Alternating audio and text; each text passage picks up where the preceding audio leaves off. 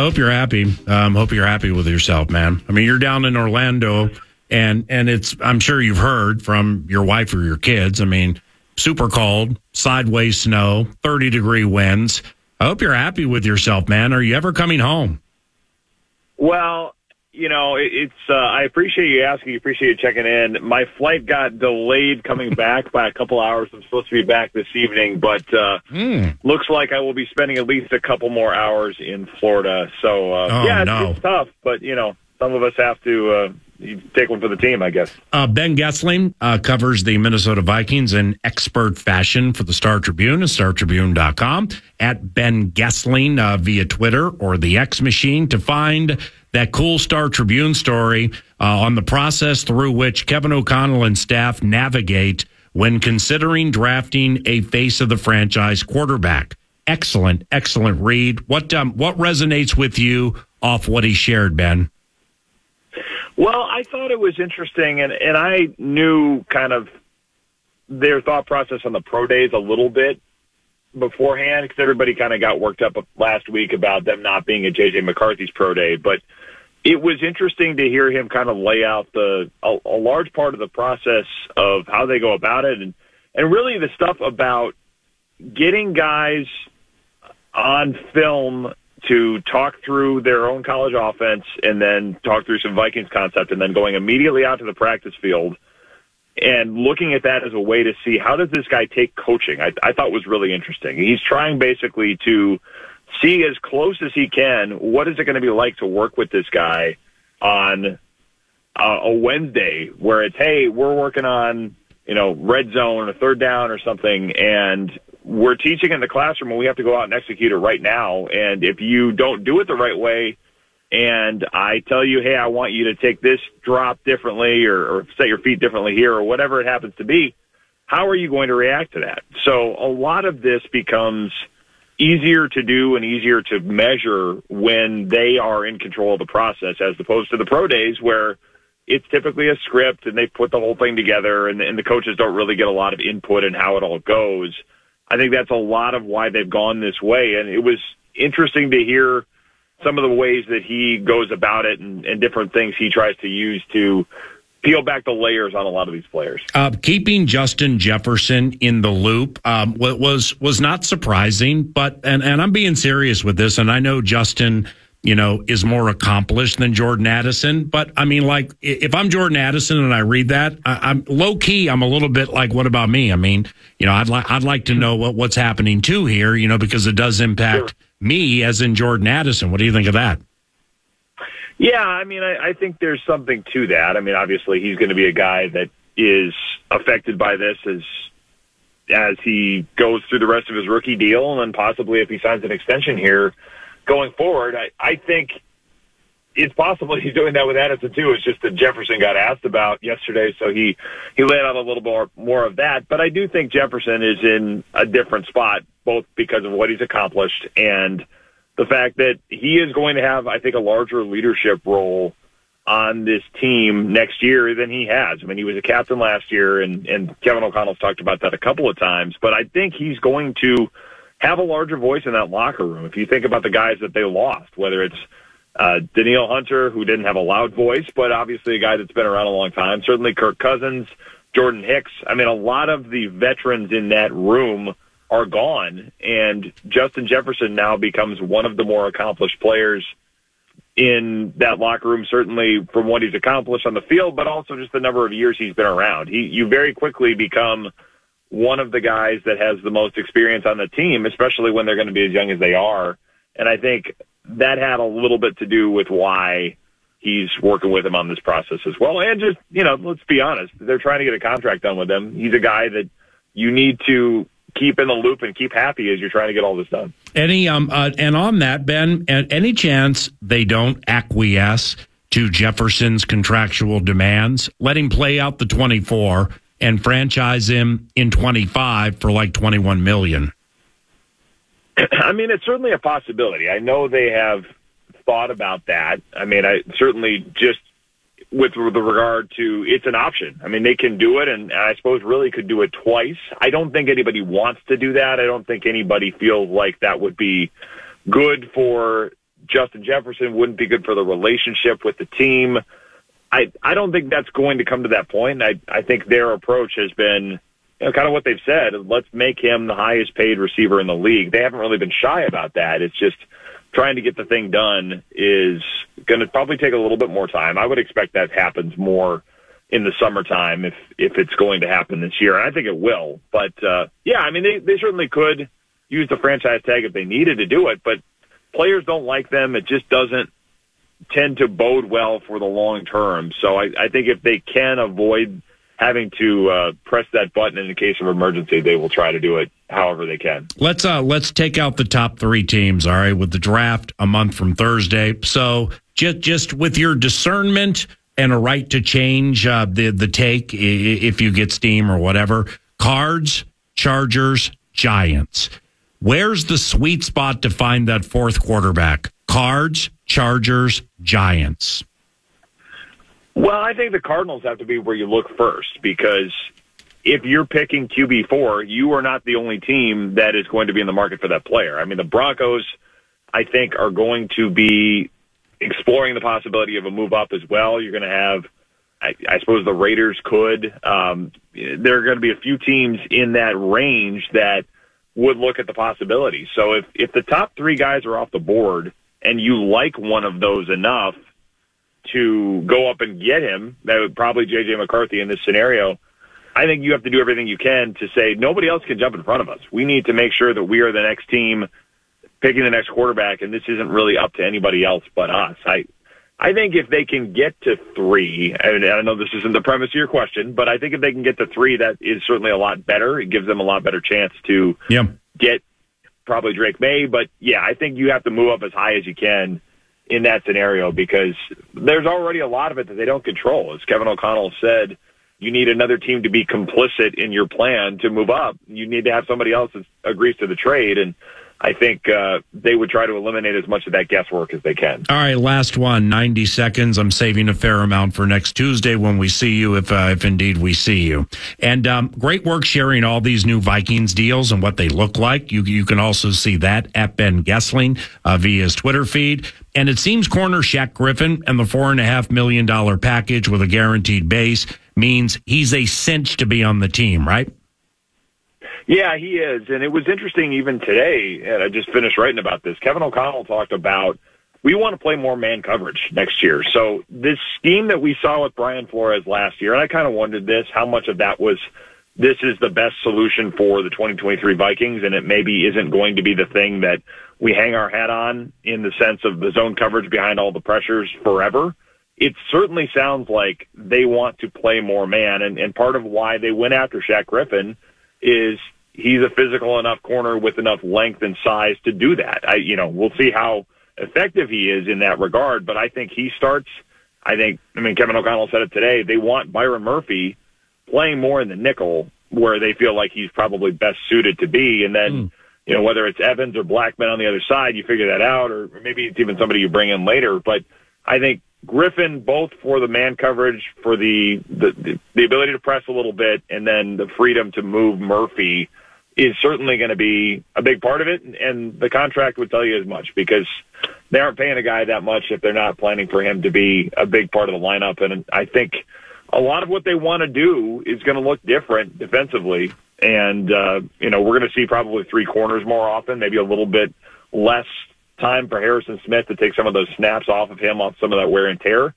And uh, as part of that, you need guys you can count on, guys that have done it. I think that's what they're hoping Shaq Griffin's going to be. Safe travels, my brother, and I'll see you soon, all right? All right, sounds good. Ben Goessling, Star Tribune, StarTribune.com. Kevin O'Connell, head coach of the Minnesota Vikings, joined 9 to noon, an hour and change ago, and um, offered thoughts on quarterbacks Jayden Daniels, Drake Maye, and J.J. McCarthy. Hear all of that uh, when we replay it next.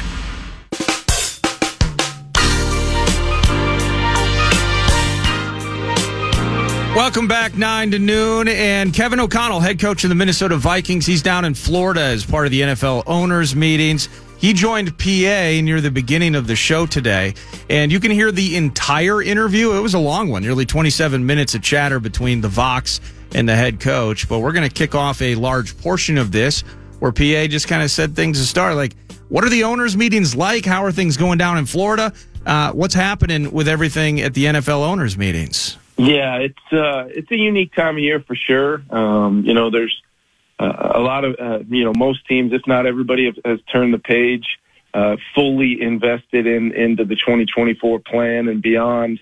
Um, free agency's kind of come and gone. It's still going on in some phases. There's a lot of quality players still available, looking you know looking to find their homes for 2024. But the uh, the draft process is is full full bore, and, and you know whether it's pro days, the combine's now completed. You've got a great initial feel for a lot of prospects. There's a lot of dialogue going on uh, amongst the teams, you know, formally, informally, you know, uh, here in uh, in Florida uh, about maybe what that draft is going to look like, who's picking where, you know, teams that potentially want to move up or down.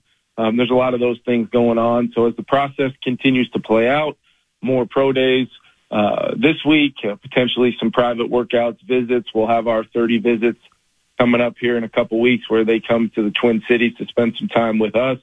And then, uh, you know, hopefully the picture starts to become as clear as uh, you know as clear as possible as we work towards the end of April and. Uh, pretty critical, exciting time for the Minnesota Vikings. I know that. Well, uh, KOC, uh, they went out and uh, got you a second first rounder for the draft. Uh, during a free agency period, 66% of your new players fancy the defensive side of the ball. So, I mean, it's a cinch now that you draft offense, offense, offense, offense, right? yeah, I, I, I think we're still um, I'm I'm really excited about what we've been able to do defensively in free agency. You know, whether it's adding um, really impactful pieces like a Jonathan Greenard, Andrew Van Ginkel, Blake Cashman, um, just to just to name a few. We've solidified our depth uh, along the interior of the defensive line with some some guys that will really play well as pieces around what Brian Flores is trying to do. Um, and then I think you know bringing back uh, Harrison Smith was a huge, huge thing for me. Um, you know, let's let's just call it what it is. PA. Since we've arrived here in 2022, we've you know we've had some of our more impactful leaders move on um, to other opportunities, and and uh, getting Harrison uh, back in the fold once he decided. You know, he was he was uh, giving it a go to play football. The best thing about it was he wanted to be a Minnesota Viking. He loves the fans of uh, uh, in the Twin Cities and Vikings fans all over the world. I mean, it means a lot to Harrison Smith to be a Minnesota Viking, uh, and I know our fans feel uh, feel great about Harrison and, and the career he's had here, and that it's going to get a chance to continue. Um, and I can't wait, quite honestly, till uh, we get to see him run out of the tunnel week one or whenever it is we get to open up U.S. Bank Stadium this year. Um, there's there's very few sounds like the sounds uh, of our fans when when one of their favorites, Harrison Smith, comes running out of the tunnel. I look forward to that. Yes, sir. Once again, yes, sir. And uh, offensively, meanwhile, uh, a motivated, healthy Aaron Jones was added to the mix. I mean, holy cow, that's exciting, isn't it? Yeah, I just you know, it's there's there's there's uh, there's few times PA when you know through free agency and especially uh, as early as as that happened and uh, look, every team has to make decisions based upon what's best for their own salary cap situations. But uh, to to put it, uh, you know, very bluntly, I was running through the halls of TCO Performance Center when uh, I found out that that would be a possibility. Uh, I may or may not have reached out to Aaron and let him know that I would make the drive uh, to come help, help pack his things uh, there in Green Bay and get him back to the Twin Cities as fast as possible. And I think the coolest thing about it is uh, there's really two aspects of it when you talk to a Justin Jefferson or you talk to a Harrison Smith or you talk uh, to to some of the guys that have uh, been Vikings and competed against Aaron, uh, their excitement level of adding a player like him, uh, who we have a lot of experience going against and know the impact that he has on the game. Uh, their excitement was obviously uh, pretty cool for me to see in my dialogue with those guys.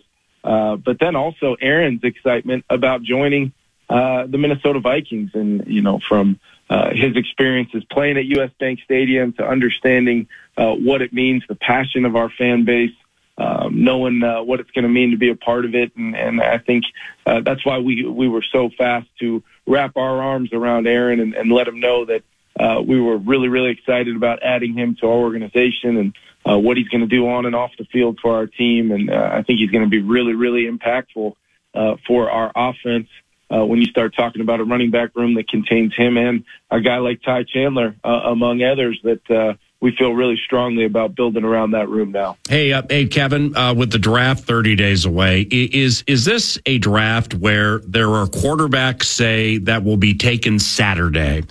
Uh, so, so third day of the draft, who have at least a decent chance of getting second contracts as starters, or is it not quite that deep? No, I, you know, I think PA is just going to be a matter of uh, where those guys go off the board because there's no question, um, you know, the guys at the top of the draft and, and rightly so um, have a chance to have a, a big time impact on whatever organization that's lucky enough to get those guys. But you're right. I think there's other names. I think there's other guys as you work through uh, the process here where uh, who knows where that player's ceiling might end up being. And, um, you know, that's where does that, does that player end up going, uh, on day two? Like, like you're saying, does that, does that player, uh, kill the process and end up, uh, you know, with a lot more teams being fans of those guys that they end up sneaking into the, the end of round one or, you know, kind of in that pick 20 to, to 35 type range. Uh, I think all of that is possible. Um, I do think it's a, a good class of quarterbacks this year and uh, something that we've really had our eye on. You know, I know here in Minnesota, um, long before this process started, just knowing the type of players that would be available at that position. And uh, I know for us, you know, having to pick 11 and pick 23 and the flexibility that's going to give us, but also think about it uh, from a standpoint if, um, and, you know, if, if we don't move up or we don't move back, based upon where we plan on possibly selecting a quarterback. Uh, I do think there's going to be a lot of offensive players coming off the board. Uh, in addition to those quarterbacks early on, there's some elite receivers. There's some pretty big time special offensive linemen, uh, you know, tackles, uh, guys that will probably step right in and start playing. Uh, you could be looking at that first defensive player going off the board, PA, right around our pick at 11, maybe right before, and what that looks like, uh, possibly uh, taking a player that you know would be a top three to four pick in maybe last year's draft, and now they're possibly available to add to your defensive front or your back end, whatever it is. Um, it's exciting. So we've got to we've got to take all of that information um, into account and ultimately know that you know we're going to be aggressive, uh, but at the same time now with those two uh, picks that we have, we feel they're very valuable picks uh, in the same draft in a deep draft. Um, and uh, I think it's uh, an exciting time. All compliments to Kwesi uh, for going out and making that move early on in the process. So now we can really plan accordingly, you know, both in our attempts to possibly move, uh, but at the same time have the chance to add two really, really impactful players, uh, regardless of the position in a deep draft like this year's. And and KOC, everybody's talking about all these players, and and, and a lot of the same names come up after that trade with Houston. And you know, man, uh, I've been dying for a couple of weeks to ask you about one. What uh, what do you think about Stanford kicker Joshua Karty? I mean, it looks from afar like the kicker job might be up for a battle, right? you know what? I, your excitement about that. Uh, you know, it's equally felt by me, PA. It really is. Um, I will tell you this much: we're excited about adding a guy like Romo, uh, you know, to the to the equation. Who we added, this guy. Mm-hmm. Uh, you know, we've done we've done some deep a deep dive and and was able to get a get our eyes on him at kind of a kicking showcase that took place, and he was lights out there. Um, a lot of times, kickers in their in their journey around the NFL, you look at some of the the best kickers in our league right now. Yeah, you've got the Justin Tuckers of the world who have been elite from day one, but you've got some other guys who have took some pretty unique paths to trying to find a home. And once they're able to do that, you know, they take off from there, albeit maybe another league, uh, like the Dallas Cowboys were able to do last year and get a guy in there that I don't think he missed a kick until the playoffs. Um, or, you know, maybe a guy, uh, like a Matt Gay who we had in LA who had kind of bounced around, had been in Tampa and then he ends up being a kicker on our team uh, that helps us win a world championship and then signs a, a big deal with the Colts. So I think there's a lot of routes you can go. I do think that there's some talent in the draft, like you said, and uh, you know where those guys come off the board, potential additions uh, from uh, you know from as the free agency process continues. Uh, all that's on the table. Um, you know, uh, for us. And and and uh, in addition to still keeping our, our tabs on Greg Joseph and and the big kicks that he's made for us over the past couple years, as well. Now, um, uh, just a few more here. Thanks, uh, Kevin O'Connell at the owners' meetings in Orlando, and and with what you know, you, you hit on the quarterbacks a couple of minutes ago. Uh, with Jayden Daniels, can can LSU's Jayden Daniels thrive in a pocket based offense, or does he need to get out there like Jalen and and kind of improvise? No, I, I think he absolutely can. I think he's proven that. Um, when you really dive into his tape, uh, that's one of the exciting things about a player like Jayden Daniels is, you know, that clearly uh, he's he's a guy that when he does take off, and a lot of times his best, most impactful plays running the football come uh, as an extension of passing plays, where um, you know he's gone through a progression, he's exhausted one to two to three um, and then with really good technique and fundamentals, uh, ball security, uh, able to climb up and out of the pocket. Uh, and really, when when he takes off from that point, um, there's really no angle uh, that's safe for a defender because of the uh, the speed that he has in the open field. Um, clearly, he's going to have to be smart about uh, when he has the football in his hands. Um, not being the biggest, strongest guy in the world, uh, he's going to have to be smart about it to, to maintain his ability to stay on the field. Uh, he knows that, you know, he's, he's proven that in his Heisman Trophy season that he's got the ability to do that. Um, you know, definitely an exciting, exciting prospect. And he goes, uh, whether you're talking about Jayden or some of these other guys, uh, in the draft, I think those are the types of things. Each, each guy kind of has, uh, you know, maybe, uh, different strengths and, uh, things that they're going to hang their hat on, but all of them, uh, I do think uh, when you're talking about some of these guys at the top of the draft and uh, where that line is drawn, um, you know, we'll kind of keep that between uh, the folks inside the walls of our building and for uh, for right now. But uh, I can tell you, I'm very excited about not only Jayden, um, but the potential of some, a lot of these guys uh, that will be in the mix to to maybe become uh, Minnesota Vikings. Uh, understood. And and what, if anything, did Josh McCown tell you about uh, Drake Maye from their days together at that Charlotte high school? Yeah, Josh and Drake have a uh, previous relationship uh, that's a really, really good one. Josh has known Drake for a long time. Uh, I think uh, you know when we when we talked to him at the combine, you know Drake was you know Drake was more interested in talking about you know a potential uh, you know, uh, a, a foul call that Josh McCown had on him when they were playing pickup basketball back in the day. So uh, the immediate uh, uh, controversy uh, picked up right where they left off uh, in previous conversations about that as soon as he walked in the door. But we had a blast talking to Drake.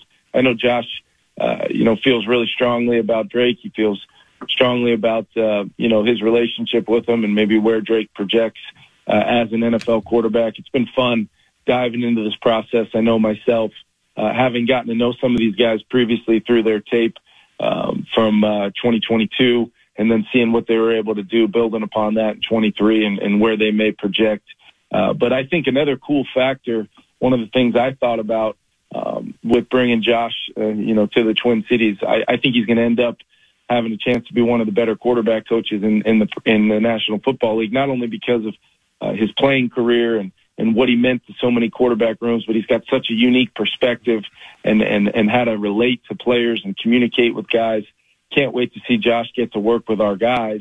But also, PA, think about it. He just went through, um, you know, a process in, in Carolina last year of uh, potentially trading up and uh, acquiring a, a quarterback of the future type player and, and getting to bring that guy in the building. And uh, we're we're now able to, not having gone through it with Josh, but we're able to lean on that experience, the things that worked really well, the things throughout the evaluation process maybe he would have done differently, um, and we can then uh, apply that to our process uh, here in Minnesota. And uh, couldn't say enough to you this morning about uh, what, the, the great start Josh is off to, and uh, where you know the, the the big time part of the process he's going to play throughout the rest of the spring. I know, um, I know accuracy with a quarterback is, is first and foremost with you. I mean, you've said it a million times. It obviously matters a ton.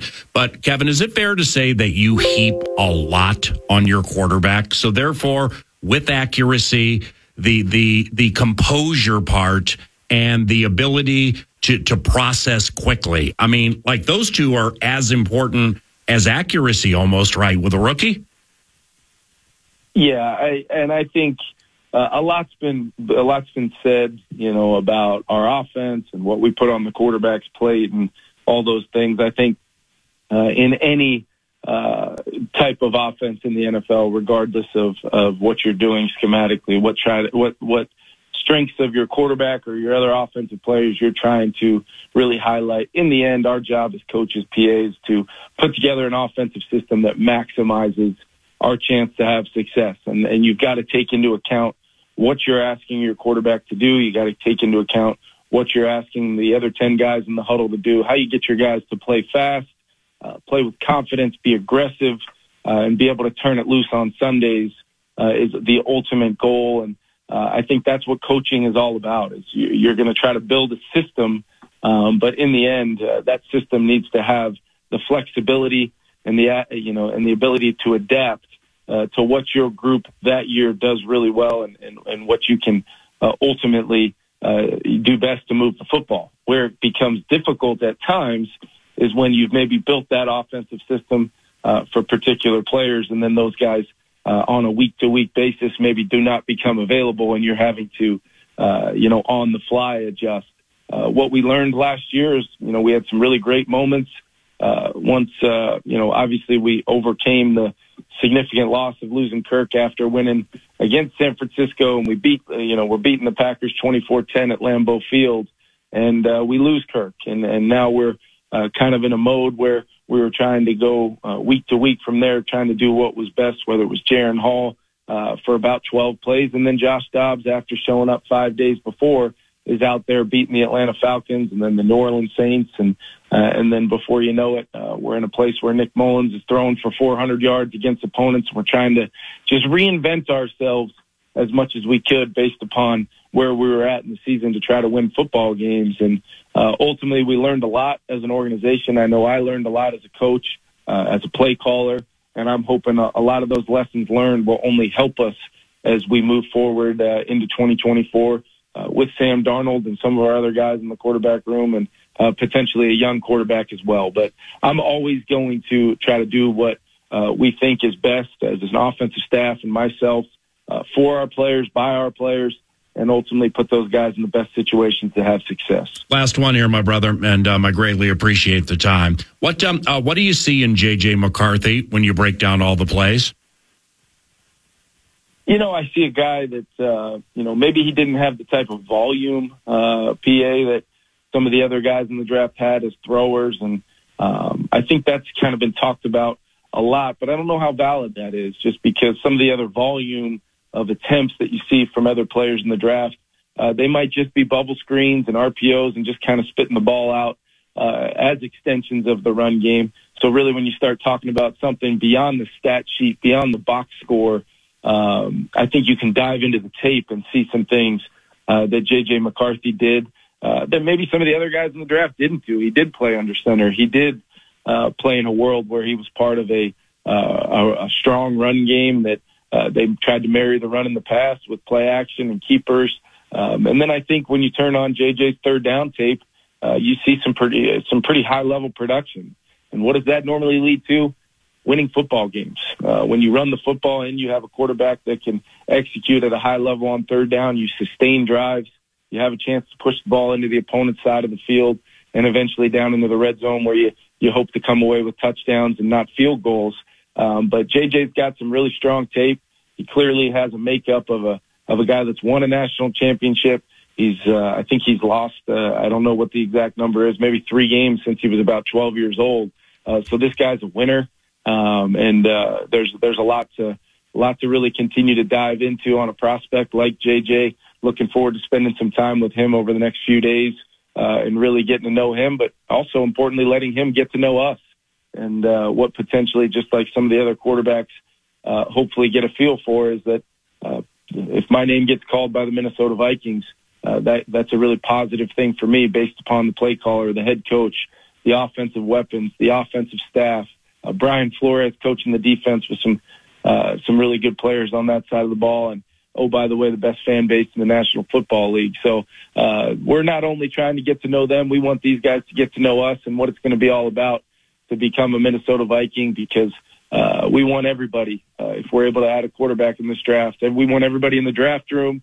We want everybody in our locker room. We want everybody watching at home to be standing and clapping, and that includes uh, hopefully the player that we're selecting. As Vikings head coach Kevin O'Connell with PA this morning, 9 to noon, live from the NFL owners' meetings in Florida. You'll be able to podcast that entire conversation. There was more to it, believe it or not, uh, later on today after the show. Final segment, putting a wrap on things around the corner. It's 9 to noon.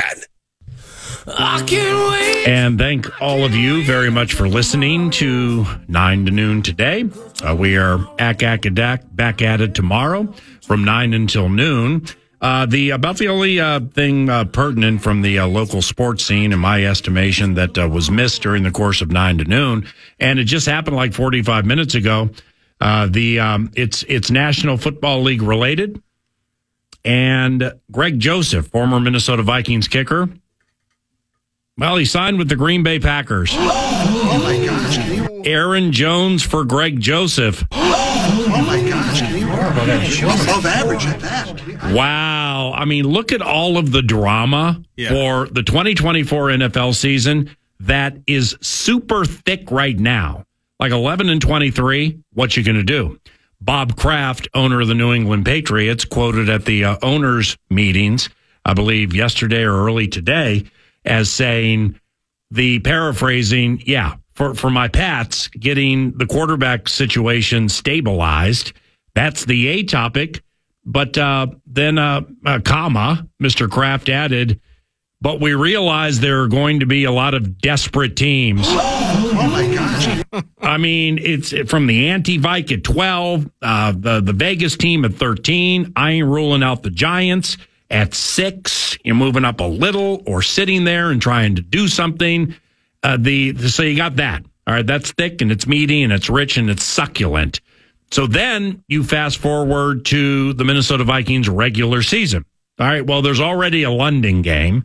So you got a London game and you have Kirko Chainz coming back to US Bank Stadium with the Falcons Oh my gosh! Can you and now maybe two against Greg Joseph, kicker for the Green Bay Packers. Oh my gosh! Uh, this is unbelievable how, Yeah. how how thick and meaty this whole thing's becoming. No, it's sweet because I mean, not only did they pick the wrong Carlson when they got Anders over there, that you know it, the thing. Hey, best of luck to Greg. He provided great moments. I think one of his seasons here, he had five walk offs or five game winning field goals. That's great. He missed a lot of extra points from 50 plus. It was dicey at times. So, uh, best of luck to him over there. I think if, if we're talking about Aaron Jones and Greg Joseph and making that swap, I, I like how the Vikings fared. I'm still saying it, PA. We have the capital advantage when it comes to moving up and getting a QB if it does become that rat race with the anti-Vike and or the Vegas Raiders. Because in the end, that 23, that move that Kwesi made is indeed the trump card. But back to your 30, 30, uh, 30 for 30 bit earlier. What if we could keep 23? How all that works. I mean, it's only getting juicier as we get closer to draft day. And and when I brought up kicker in the in the 25 minute Kevin O'Connell chat, I mean it was as an aside, kind kind of a kind of a joke, you know, to set up some some different questions about quarterbacks. Yeah. And I asked about the Stanford kicker and and KOC, you know, be, um, KOC likes to give long-winded answers every so often.